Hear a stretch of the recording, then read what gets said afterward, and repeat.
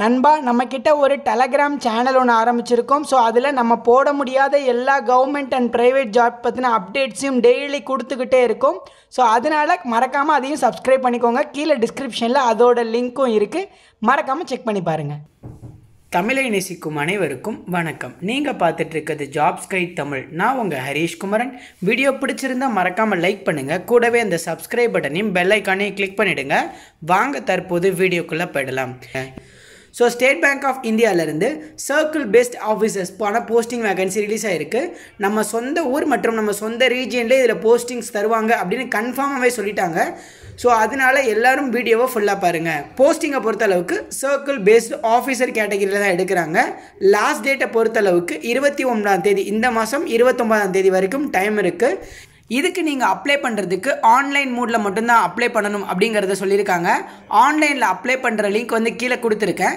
எப்படி நம்ம ஆன்லைனில் அப்ளை பண்ணணும் அப்படின்ற step by step detailed video வந்து டிஸ்கிரிப்ஷனில் இருக்குது நீங்கள் அதையும் ஒரு தடவை செக் பண்ணிவிடுங்க ஸோ வேக்கன்சி டீட்டெயிலை பொறுத்தளவுக்கு கிட்டத்தட்ட ஒரு ஆயிரத்தி முந்நூறு வேக்கன்சிஸ் இருக்குது அதில் தமிழ்நாட்டுக்கும் போஸ்டிங்ஸ் கொடுத்துருக்காங்க. உங்களுக்கு தமிழ் லாங்குவேஜ் தெரிஞ்சிருந்தால் மட்டும்தான் இந்த போஸ்டிங்ஸ்க்கெல்லாம் அப்ளை பண்ண முடியும். அதே மாதிரி ஒரு கேண்டிடேட் ஒரு ஸ்டேட்டுக்கு மட்டும்தான் அப்ளை பண்ணணும் அப்படிங்கிறத சொல்லியிருக்காங்க. நான் ஆல்ரெடி சொன்ன மாதிரி selected candidates will posted in the circle state against whose vacancy they are selected அதாவது அந்த சர்க்கிள்லே அதாவது நீங்கள் வந்து மதுரைக்கு அப்ளை பண்ணுறீங்கன்னா மதுரை சர்க்கிள்லே உங்களுக்கான போஸ்டிங்ஸ் இருக்கிறதுக்கு நிறைய சான்சஸ் இருக்குது ஸோ இப்போ இதற்கான எசென்ஷியல் குவாலிஃபிகேஷனை பற்றி பார்க்கலாம். எனி டிகிரி முடிச்சிருக்கீங்க அப்படின்னாலே போதும். நீங்கள் இதுக்கு அப்ளை பண்ணலாம் அப்படிங்கிறத சொல்லியிருக்காங்க. ஏஜ் லிமிட்டை பொறுத்தளவுக்கு இருபத்தி ஓரு வயசுலேருந்து முப்பது வயசு வரைக்கும் இருக்கக்கூடிய எல்லாருமே அப்ளை பண்ணலாம். அதாவது நீங்கள் வந்து ஆயிரத்தி தொள்ளாயிரத்தி தொண்ணூற்றி ஒன்றுக்கு முன்னாடி பிறந்திருக்கக்கூடாது அதே மாதிரி ரெண்டாயிரத்துக்கு பின்னாடியும் பிறந்திருக்கக்கூடாது அப்படின்னு சொல்கிறாங்க நீங்கள் ஒருவேளை எஸ்சிஎஸ்டியாக இருந்தால் முப்பத்தஞ்சு வயசு வரைக்கும் ஓபிசியாக இருந்தால் முப்பத்தி மூணு வயசு வரைக்கும் கூட இதுக்கு அப்ளை பண்ணலாம். எக்ஸ்பீரியன்ஸை பொறுத்தளவுக்கு உங்களுக்கு மினிமம் டூ இயர்ஸ் எக்ஸ்பீரியன்ஸ் தேவை. எங்கே அப்படின்னா ஏதோ ஒரு கமர்ஷியல் பேங்க்லேயோ ரீஜனல் பேங்க்லேயோ ஒர்க் பண்ணியிருந்தால் நீங்கள் இதுக்கு அப்ளை பண்ணலாம். லோக்கல் லாங்குவேஜ் கட்டாயமாக தெரியணும்னு சொல்லியிருந்தேன் இல்லையா? இப்போ நீங்கள் தமிழ்நாட்டுக்கு அப்ளை பண்ணுறீங்கன்னா உங்களுக்கு தமிழ் பேச படிக்க எழுத நல்லா தெரியணும். அதோட நீங்கள் டென்த்து டுவெல்த்தில் தமிழை ஒரு பாடமாக எடுத்தும் படிச்சிருக்கணும் அப்படிங்கிறதையும் சொல்லியிருக்காங்க. அடுத்து பாருங்க இதற்கான செலெக்ஷன் ப்ரொசீஜரை பொறுத்தளவுக்கு ஒரு ஆன்லைன் ரிட்டன் டெஸ்ட் வைக்கிறாங்க. அந்த ஆன்லைன் ரிட்டன் டெஸ்ட் வந்து அப்ஜெக்டிவ் டைப்பில் இருக்கும். டூ ஹவர்ஸ் வந்து நீங்கள் இந்த எக்ஸாம் எழுதலாம். மொத்தமாக வந்து பார்த்தீங்கன்னா நூற்றி இருபது மார்க் இருக்குது நாலு செக்ஷனாக பிரித்து கொடுத்துருக்காங்க.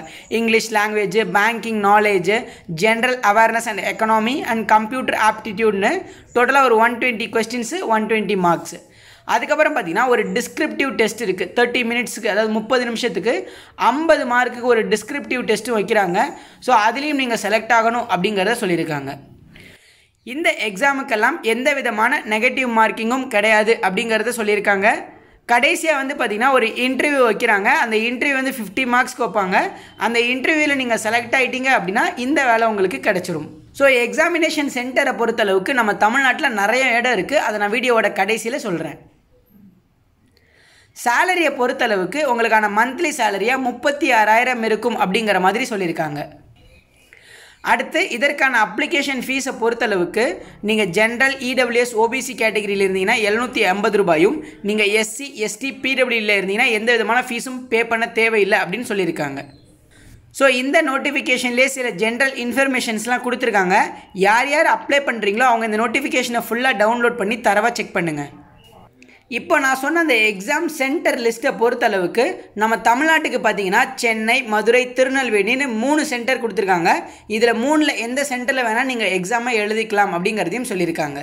ஸோ அவ்வளோதான் இந்த வீடியோவுக்கு பிடிச்சிருந்தா மறக்காமல் லைக் பண்ணுங்கள் இதுக்கு அப்ளை பண்ணணும்னு நம்ம வீடியோக்காக வெயிட் பண்ணுங்கள் இன்றைக்கி ஈவினிங் வந்து ஆன்லைனில் எப்படி அப்ளை பண்ணுறதுன்ற வீடியோ வந்துடும் அதையும் மறக்காமல் செக் பண்ணுங்கள் தேங்க்யூ